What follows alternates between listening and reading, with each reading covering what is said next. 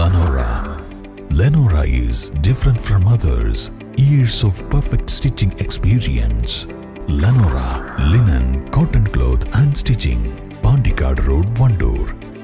മണൽക്കടത്ത് തടയാൻ ശക്തമായ നടപടിയുമായി പോലീസ് ചാലിയാറിന്റെയും കുറുവൻപുഴയുടെയുമെല്ലാം കടവുകൾ കേന്ദ്രീകരിച്ചാണ് നിലമ്പൂർ പോലീസ് നടപടി ശക്തമാക്കുന്നത് പരിശോധന ശക്തമാക്കി കുറഞ്ഞ ദിവസത്തിനുള്ളിൽ പോലീസ് പിടിച്ചെടുത്തത് ഏഴ് വാഹനങ്ങളാണെന്ന് നിലമ്പൂർ സി ഐ മനോജ് പറയട്ട പറഞ്ഞു മമ്പാട് കൂളിക്കൽ കടവിൽ നിന്നുമാണ് ഇന്ന് രാവിലെ മണൽ നിറച്ച ടിപ്പർ ലോറി പിടിച്ചെടുത്തത്.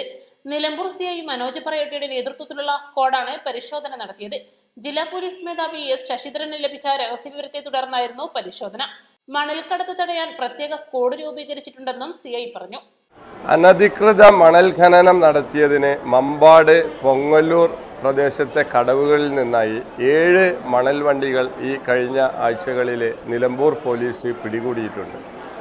പ്രദേശത്ത് വ്യാപകമായി ഈ മണലൂറ്റൽ നടക്കുന്നുണ്ട് എന്നുള്ള പരാതിയെ തുടർന്ന് ജില്ലാ പോലീസ് മേധാവിയുടെ പ്രത്യേക നിർദ്ദേശപ്രകാരം സ്ക്വാഡ് രൂപീകരിച്ചാണ് ഈ മണൽ വണ്ടികളെ പിടികൂടിയിട്ടുള്ളത്.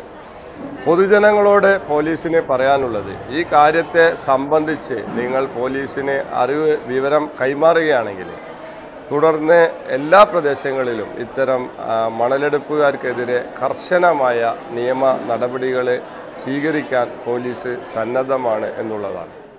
പോലീസിനെ കണ്ട് ടിപ്പർ ലോറി ഉപേക്ഷിച്ച് ഡ്രൈവർ രക്ഷപ്പെടുകയായിരുന്നു.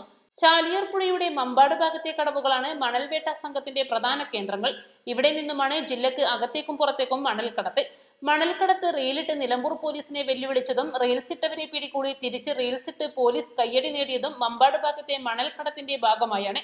സി ഐ മനോജ് പറയട്ടയ്ക്ക് പുറമെ മുജീബ് എസ് സി രമേശ് സജേഷ് വിവേക് ഷൌക്കത്ത് മൊളായിസ് എന്നിവർ പങ്കെടുത്തു. പിടിച്ചെടുത്ത വാഹനം നിലമ്പൂർ ഡിവൈഎസ്പി ഓഫീസ് പരിസരത്തേക്ക് മാറ്റി. East live Nilambur.